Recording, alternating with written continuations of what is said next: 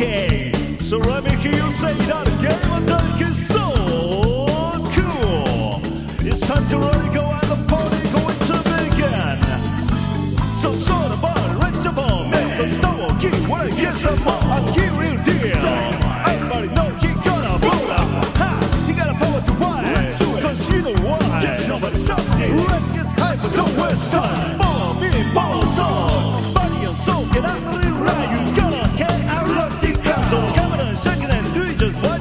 boy.